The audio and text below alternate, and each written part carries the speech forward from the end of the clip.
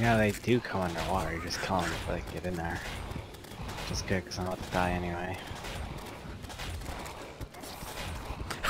Why'd you do that, Ryan? There was a guy coming from the right, and... and I fucking hate this game. I just want it to be over with.